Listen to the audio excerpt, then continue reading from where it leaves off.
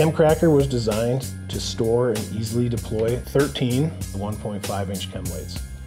The way the system works is the chem lights are inserted through the side of the ChemCracker and held securely in place by a spring-loaded follower.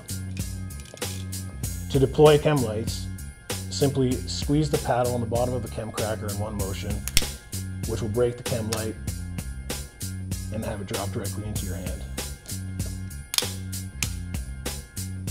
Chem cracker has a lockout system to let you know when it is empty. The ChemCracker will include a Discreet Carry Concepts monoblock belt clip that fits on any belt or MOLLE system.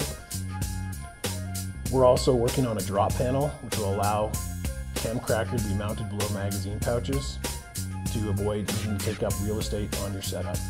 Right now, the ChemCracker is available through Gov Sales only.